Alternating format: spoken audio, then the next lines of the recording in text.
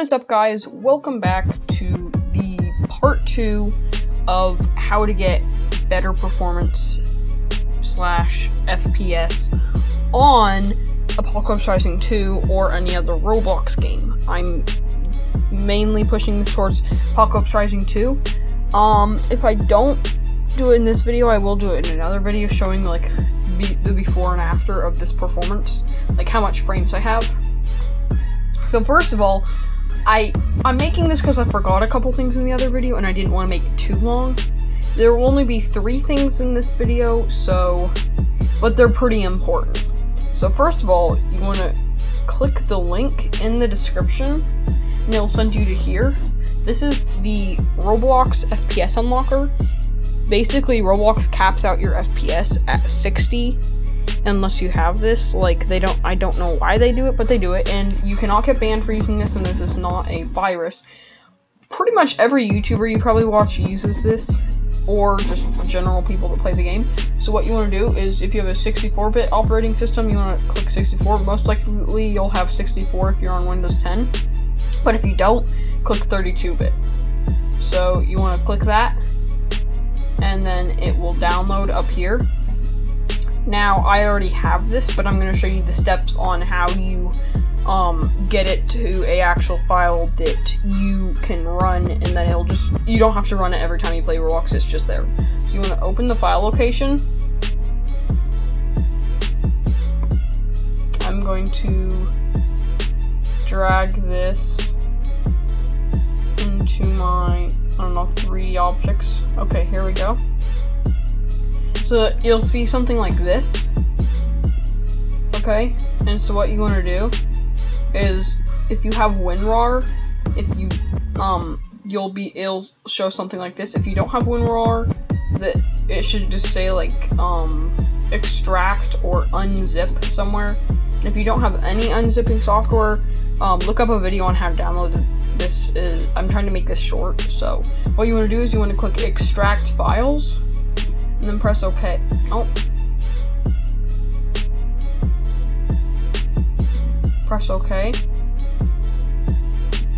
And then something like this should pop up. And you want to double click it, and it'll show something like this.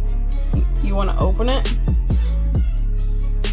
It will pop up a menu like this. It'll check for updates, which mine might need to update. I don't know if it, um, okay, well basically, that's it. Now, you get, you can, yes, gamer juice. Okay, um, now, you can have more than 60 FPS in any Roblox game. This really helps if you have a high-end computer that can just like it always says you have 60 FPS and you don't know how to not have 60 FPS. So that's it. That's all you have to do for the um, not having 60 FPS and having like 100, 200 frames a second. Now, what you want to do is you want to, if you have a battery down here, you want to right click it and click power options. But if you don't have a battery down there, you want to go over here, you want to press the Windows key on your keyboard or go down and click like the search tab or the Windows button down there and then you want to type in edit power op plan and then open that up. Go back to power options like up here it'll go back to power options and then it'll probably be on balanced for you. So I'm just gonna put that there this probably won't be here for you most computers they don't have this if you're on a laptop, it will not be there for you. Um, you have to do some, like, stuff in the command prompt to make it show on laptops, but I'm not going to be showing you how to get this because this is kind of complicated. I will be showing you a okay one. So let me quickly delete this plan. You don't need this. This is just like, like you, if you're using this, you, your laptop or computer, what am I saying? If you have a computer, it you can use this. This is like the best you can do. But for a laptop, if you have this, you need to have it plugged in or it'll just drain. Okay, so how if you don't have any of these, You don't need to worry about these, but you probably have energy saver and balance maybe.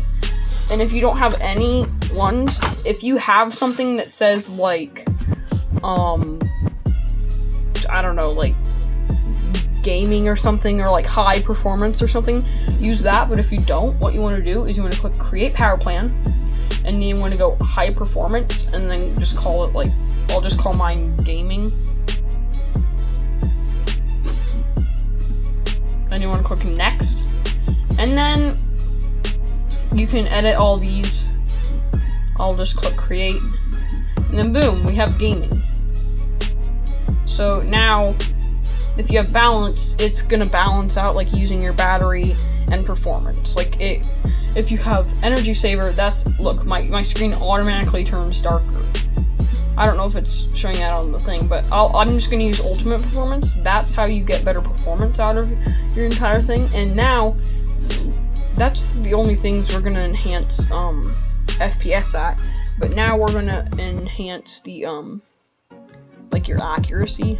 So you're gonna type in mouse settings. Go click that. Um, then you want to go over here and you want to click additional mouse options. You want to go over here pointers options, and then you want to click enhance pointer precision. Then click apply, and that's it. That's all you gotta do.